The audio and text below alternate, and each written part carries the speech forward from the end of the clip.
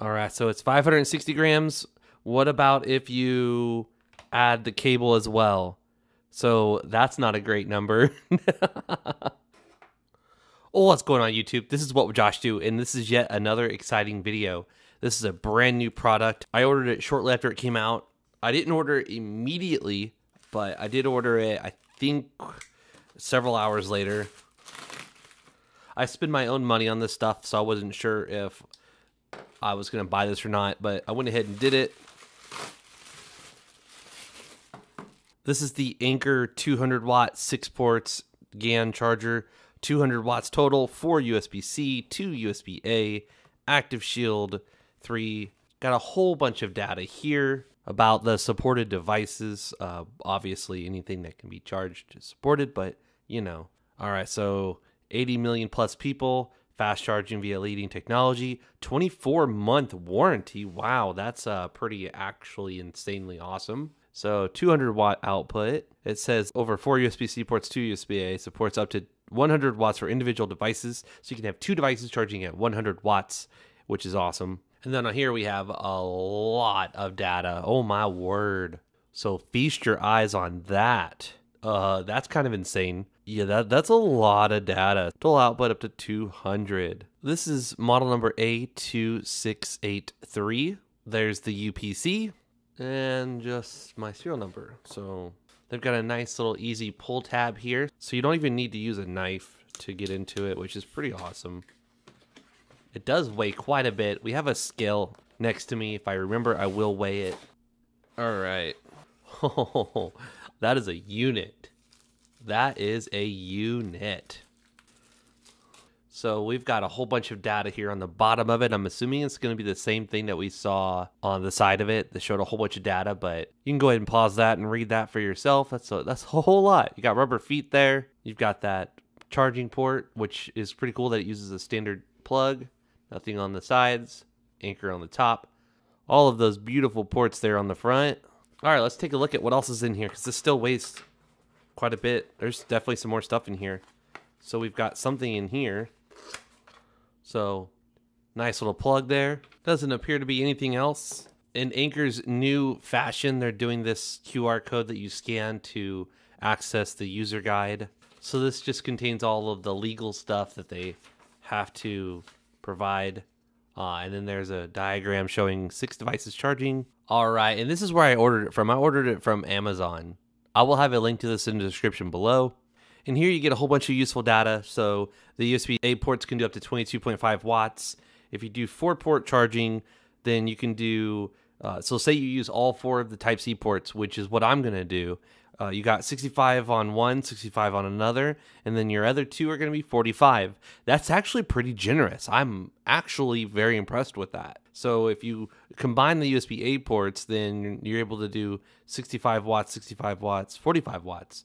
Now, if you use all six ports, you can do 65, 45, 45, 20. So that's still great. And then those USB A ports are going to have their own little bit of power there. So that's uh, pretty freaking impressive. And then what I'm probably going to be using this for the most is the dual 100 port charging. So basically, you can have your laptop charging at full speed and then your wife's laptop charging at full speed, uh, or your kids, or you know, whatever. So I think 99% of the time I'm going to be using this for the four port there. So 65 watts going to two power banks and then 45 watts going to one and 25 going to the other. All right, let's get started. So here's that wall outlet. So just occasionally keep an eye on the number that you're seeing over here. And then we're going to plug this in. And uh, no signs of life, like there's no lights on it or anything. But uh, so it's drawing a little bit of idle power there, almost about half a watt, a uh, quarter of a watt. And then we're gonna connect up, uh, let's say, I don't know, two power banks. So we'll do this guy, which is dead. I've killed them in preparation for this video. So it's immediately jumping up to a hundred watts. 93. Okay, okay. All right, let's uh Let's task it with this guy. I killed this.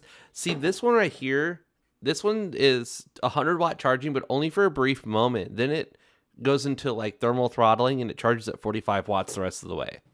So I'm going to pick this guy over this guy any day of the week because this thing can sustain 140 watts without any problems.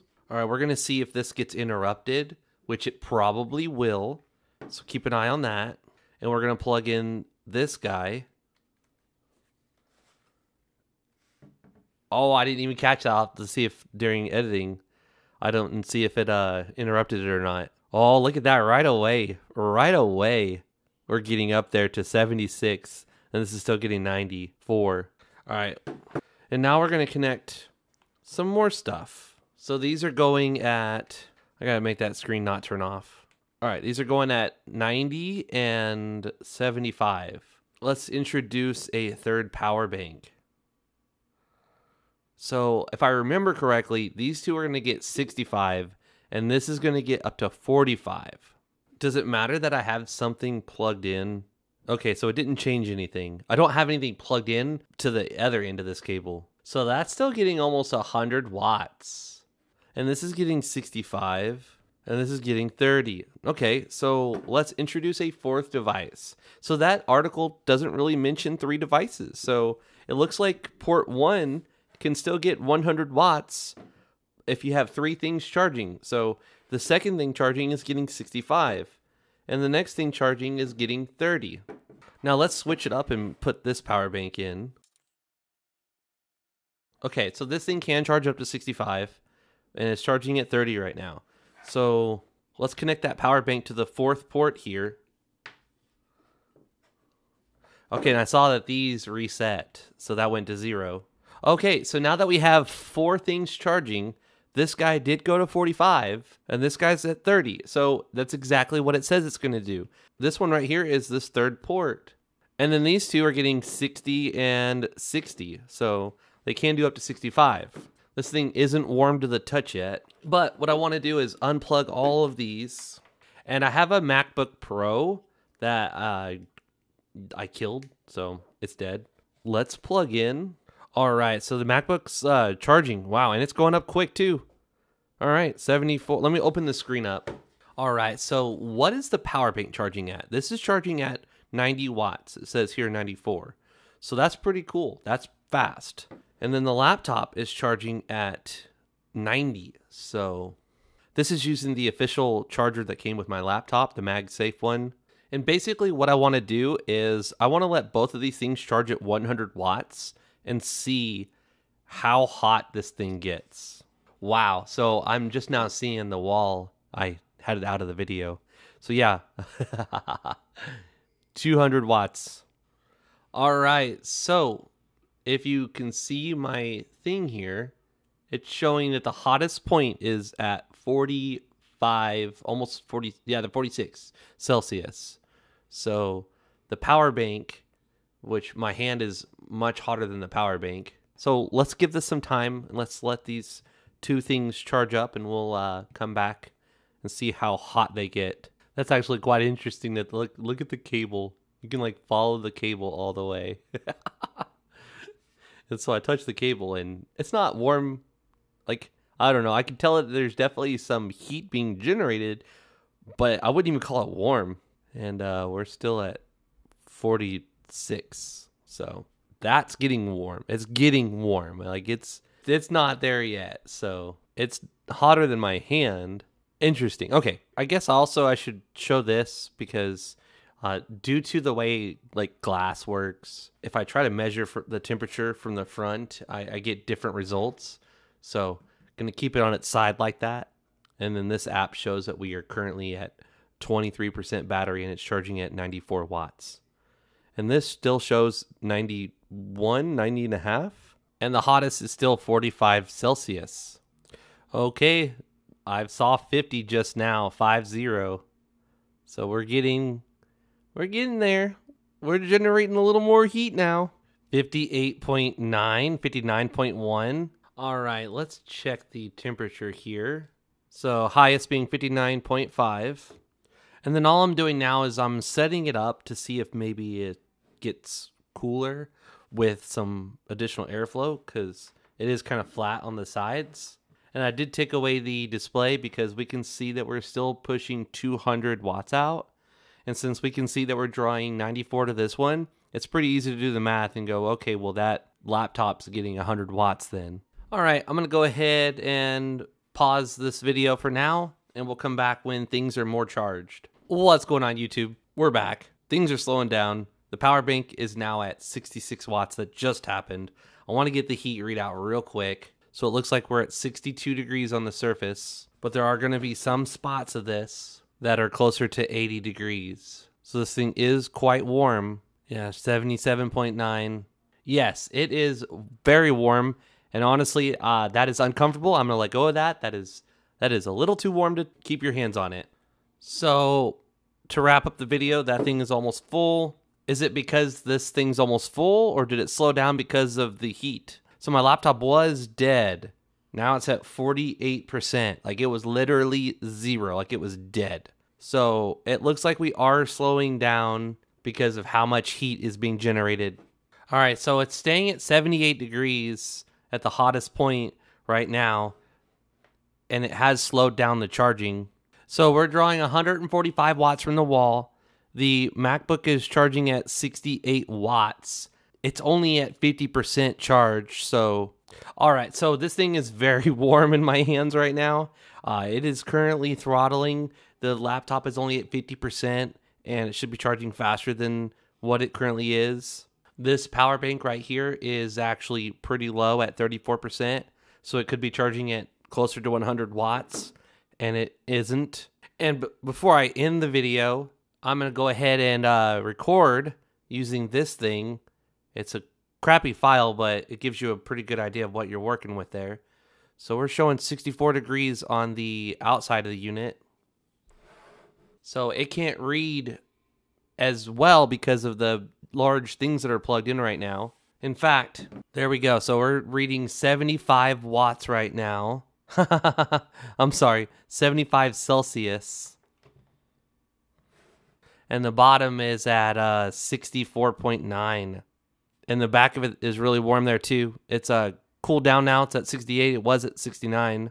All right. So, in order to not make this video terribly long, yes, this thing is at about 70 degrees Celsius on the outside, but we have throttled. We're no longer getting 100 watts to the MacBook, which is here on the left, and 100 watts to the power bank, but we are getting 65 watts to the power bank and almost 70 watts to the laptop. So even though this thing is at 70 degrees Celsius, in my opinion, it is handling that heat very well and it's evenly distributing it, with the hottest point being right here at the uh, outlets where the plugs are. And then the rest of it's around 65 to 68 degrees on the outside. So, yes, you wouldn't be able to hold that very long because it is quite warm, but it doesn't appear to be throttling as bad as you would think it would. And here we are a few minutes later, and it's still chilling at about 65 ish degrees Celsius on the outside of the unit. And we're still charging things fairly quickly. So, this is just the unboxing and first look, first impressions of this charger. It's really freaking cool. The fact that you can have two things charging at 65 watts, one thing charging at 45 watts, and another thing charging at 25 watts is actually huge. You can have two things charging at 100 watts each. You can have three things charging. One's at 100, one's at 65, and one's at 30. You can have four or five or six things charging. Now, I'm not going to use those USB A ports because they're just going to slow down everything. So if I want to use the USB A port and plug it in, I'm still getting 70. Oh, nope. Okay. Yep, that's slow. Okay, went back up to 65, and that's at 41. And look at that bad boy, dude. Let me zoom in. That's USB A right here on the far left to USB C. That's cooking. 23 what? That's actually impressive. No, that's not USB C. No, that's not 100 watts or 65 watts or 45 watts. But damn, is it close to 25 watts? That you would get if you had a four thing plugged into the USB C port. That's actually quite impressive. And altogether, we're doing 142 watts from the wall. Okay, damn, my videos are freaking long. All right. I don't think you're going to hear the fan, but I do have one pointed towards the thing here because I'm trying to cool it down. I want to see that fast charging on USB A again. Come on.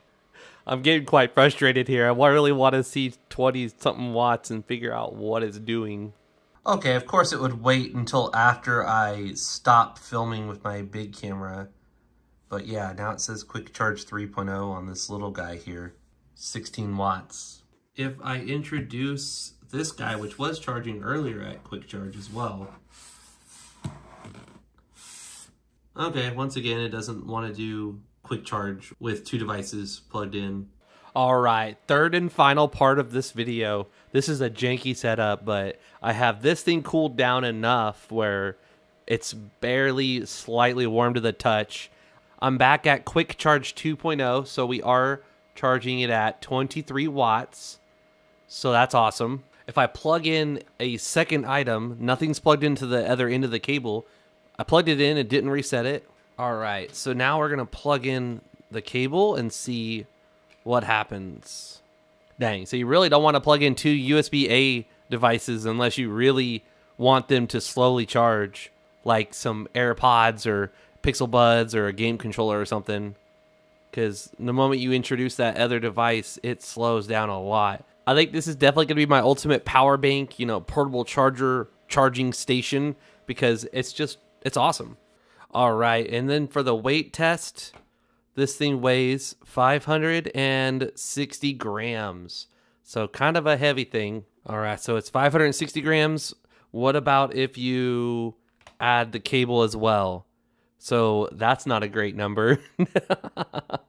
so how much does the cable weigh by itself? Okay, so the cable adds 104 grams.